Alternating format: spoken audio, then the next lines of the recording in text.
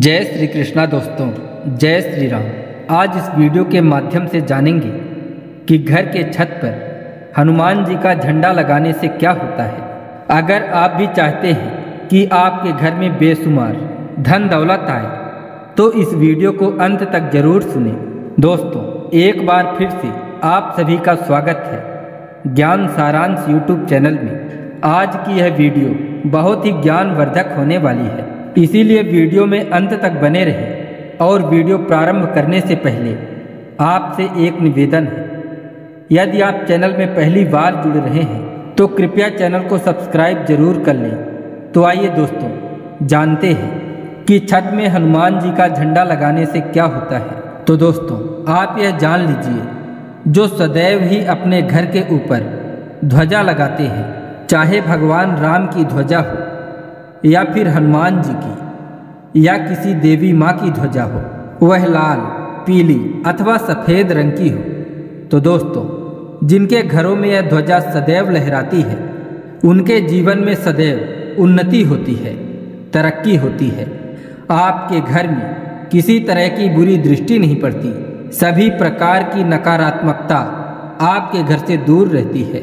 इसीलिए अपने घर के ऊपर ध्वजा अवश्य ही लगाना चाहिए। और उसके साथ एक चौपाई अपने घर के मुख्य दरवाजे के पास यदि लिखा दे तो और भी अच्छा होगा।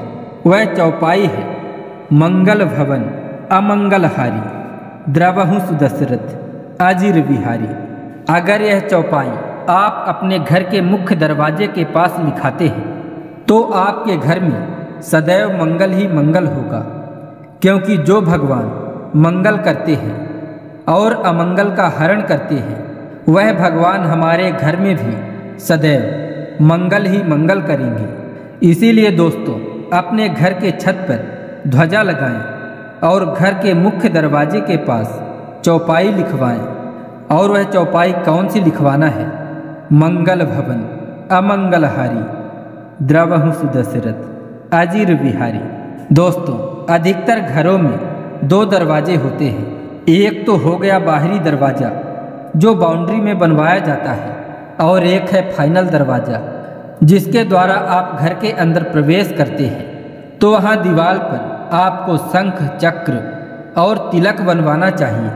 दोस्तों, जिस घर के सामने चक्र होता है, उस घर की ओर आने वाली सारी निगेटिव ऊर्जा को चक्र काट कर समाप्त कर देता है, जिससे आपके घर में सदैव पॉजिटिव एनर्जी बनी रहती है।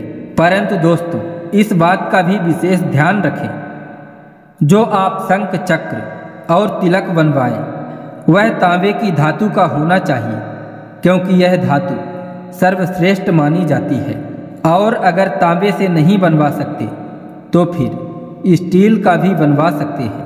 परंतु अगर पूरा लाभ प्राप्त करना है तो तांबे के धातु से ही शंख, चक्र और तिलक बनवाएँ, क्योंकि इससे घर के सभी वास्तु दोष दूर हो जाते हैं। दोस्तों, जिनके घर में शंख होता है, उनके घर में कभी भी धन धान्य की कमी नहीं होती।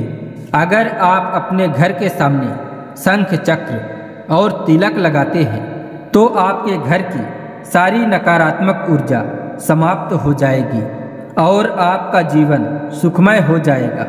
अब दोस्तों यह जान लेते हैं कि झंडा कब और कैसे अपने घर के ऊपर मुख्य द्वार के पास लगाएँ। तो मित्रों, झंडा लगाने का सबसे अच्छा दिन मंगलवार का दिन माना जाता है। मंगलवार के दिन आप ध्वजा लेकर हनुमान जी के मंदिर में जाएँ। पुरुष वर्ग के लोग हनुमान जी को सिंदूर चढ़ाएँ। लड्डुओं का भोग लगाएँ और ध्वजा को हनुमान जी के चरणों को स्पर्श कराकर लाएँ और उस ध्वजा को अपने घर पर लाकर लगाएँ। इसी तरह यदि माता रानी का ध्वजा लगाना है तो माता रानी के मंदिर में जाएँ, उन्हें प्रणाम करें उन्हें प्रसाद का भोग लगाएँ और मंदिर के आसपास झंडा मिल जाए तो उसे खरीद कर लाएँ और अपने घर के ऊपर लगाएँ। दोस्तों यह सब चीज़ें हर हिंदुओं के घर में होना चाहिए। क्योंकि यह बहुत ही अधिक शुभ माने जाते हैं। यह कोई आज के वर्तमान समय की परंपरा नहीं है। यह परंपरा अनाज काल से चली आ रही है। और यदि आप इसका पालन करते हैं तो निश्चित ही आपको इसका लाभ प्राप्त होगा। मन में विश्वास रखें, भगवान के प्रति श्रद्धा भाव रखें। आपके जीवन से सभी संकट दूर हो जाएँगे। दोस्तों, आशा करते हैं, यह छोटी सी वीडियो देखकर आपको बहुत ही जानकारी प्राप्त हुई होगी। आज के लिए बस इतना ही। मिलते हैं अगले वीडियो में एक नई जानकारी के साथ। तब तक के लिए जय श्री कृष्णा। राधे राधे।